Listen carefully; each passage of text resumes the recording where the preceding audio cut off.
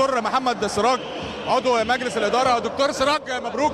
كلمة سريعة وأنا هسجل معاك كلمة سريعة للبنات والجمهور. حابب تقول الأول للبنات؟ مبروك نحييهم كلهم ألف ألف مبروك ويعني عملوا بطولة كبيرة قوي بالجماهير وبروحهم وبالجهاز الفني. ربنا يعني كريم الحمد لله. مجهود كبير بذل ويمكن ليك سبب فيه مع مجلس الإدارة. دكتور محمد نجاح البطولة من نجاح الجمهور من نجاح اللعيبه الحمد لله ربنا كريم. الحمد لله بسبب جماهير الأهلي. الحمد لله.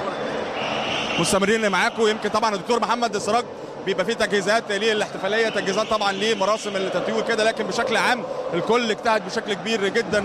كل البنات النهارده فرقة قرطاج كانت على أعلى مستوى كانت مركزة بشكل كبير. لكن كالعادة مستمرين معاكم كل مشاهدينا ومتابعينا من خلال شاشة قناة النادي الأهلي ومن خلالك كابتن خالد مع فرح الجمهور النادي الأهلي وأيضا كمان مراسم التتويج.